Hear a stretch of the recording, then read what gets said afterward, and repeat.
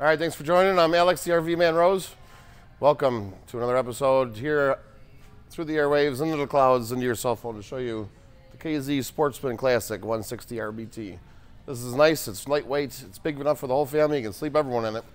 Uh, I'll walk around the outside first real quick and then show you some stuff inside. On the outside, A-frame, all steel, it's welded together, all one piece, very easy. You do have your 20 pound propane tank.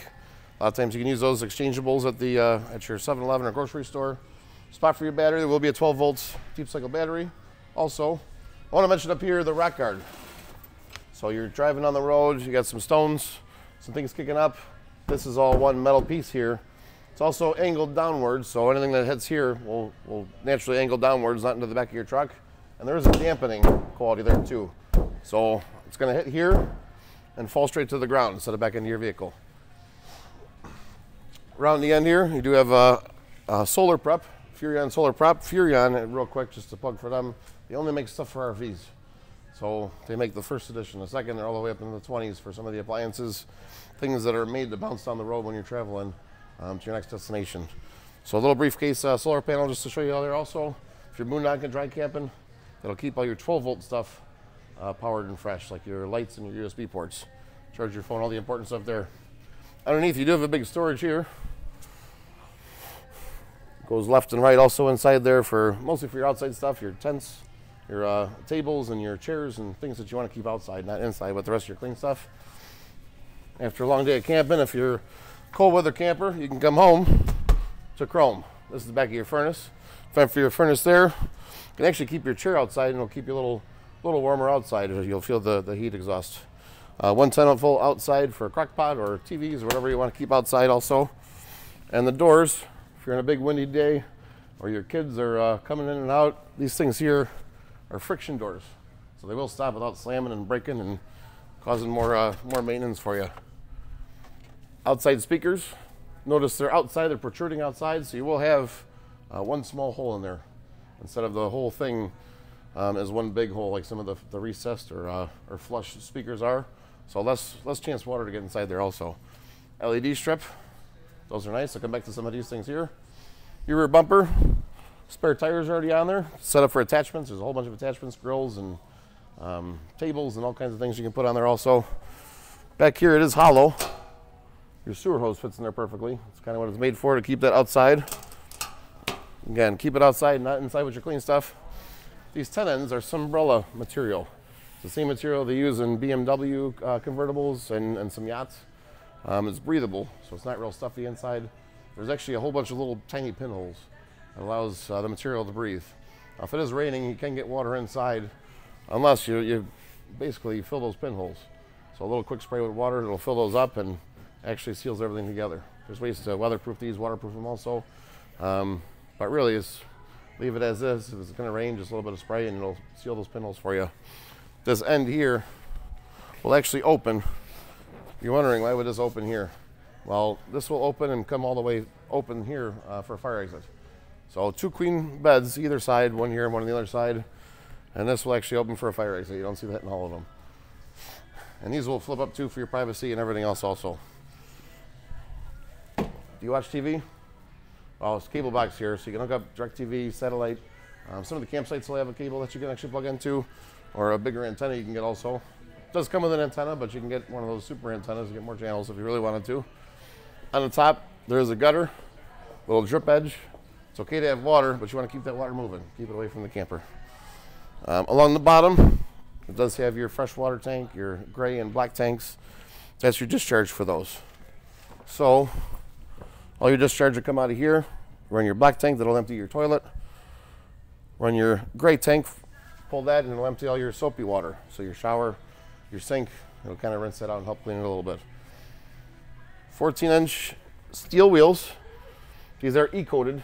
It's like powder coated to prevent from, from rusting there. Being from Buffalo, New York, we do get salt in the roads, or if you're oceanside, there'll be some salt and salt water there. It'll help from uh, prevent that from rusting up. A vent for your refrigerator just behind there. 30 amp shoreline power, hooking up to uh, campgrounds or even side of the roads. On the other rest stop areas, it'll provide you that too. Fresh tank fill. There's a 30 gallon fresh tank. um, water supply in this you can use for a shower or for your sink. Um, anything that you need the water for. City connection, city water is if you're at a campsite or anywhere with a hose in your driveway, whatever. It'll keep you um, full of water there. Back of your hot water tank, it's a six gallon hot water supply. Uh, just retrospect, your, your home water supply, hot water tanks, usually about 30 gallons. This is six. Your fresh water tank will hold 30, so you can get basically a whole hot water tank um, access at your, at your fingers there.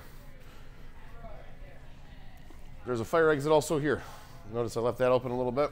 That's your third fire exit. So if anything ever happened inside, you're you know, you're prepared for it. You can get out. This awning is power. There's no more hooks pulling these things out or winding them up and down. You don't have to worry about that. What happens if it's raining all day? You know, you're kind of stuck inside or underneath the awning. What happens, water can get on this awning here, kind of create a puddle in the middle of it. And really, if you don't pay attention to that, it can kind of all come crashing down. What you can do, so you can take this and pitch your awning, so water will naturally fall to one side or the other. And if that doesn't work and it's still starting to, to collect up there, you do have these arms. They're release arms that'll release actually some of the water and it'll all come, come down for you. So you don't really have to worry about water as much with these. Here, come on, I want to show you the inside too.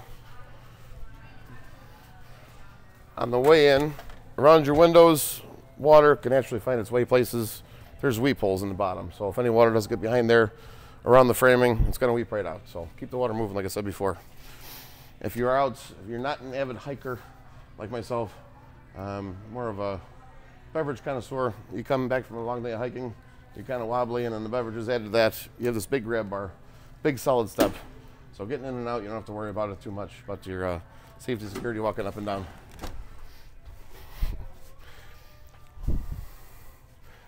First queen, queen size tent end on the left here. Now you do have uh, just a couple notes. You do have a smoke uh, fire uh, smoke detector. You do have your thermostat, and you do have a CO and propane detector below too. So all your safety stuff.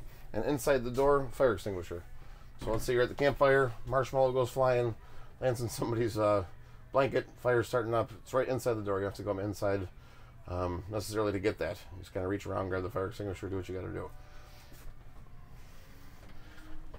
two burner stove, sink, some counter space, microwave, radio, speakers you can adjust for inside and outside or both.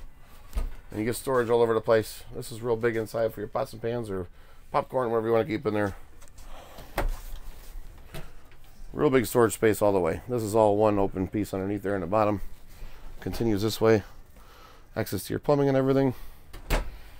Now the fridge, this does sleep a lot of people, like I said before, so you're gonna need a lot of food, a lot of beverages. You get your separate fridge and freezer. A lot of units in this size won't only have the one combo. This gets you both fridge and freezer. This comes down pretty far into here too. So you do get a good amount of room for your stuff. Big pantry, also used for clothing. It's got your rack up top If you wear your shirt and tie out like I do in, in camping. Your second uh, queen bed tent end over here. Dinette will drop down to a bed. There's two poles underneath will come out. This will squeeze in between here on the lip. Drop right down.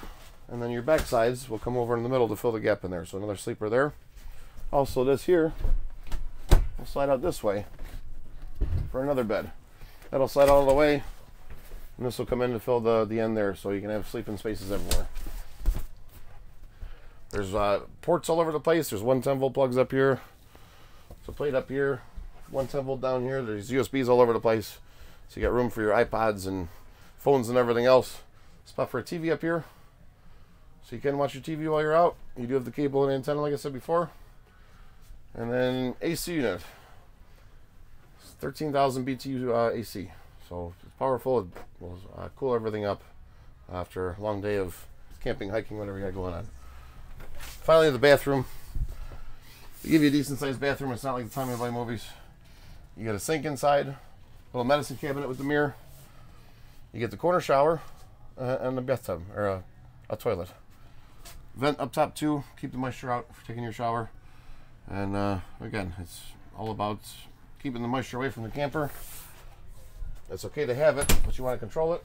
Use your fans, your tenons, very specific there. And any questions you can call and ask me too.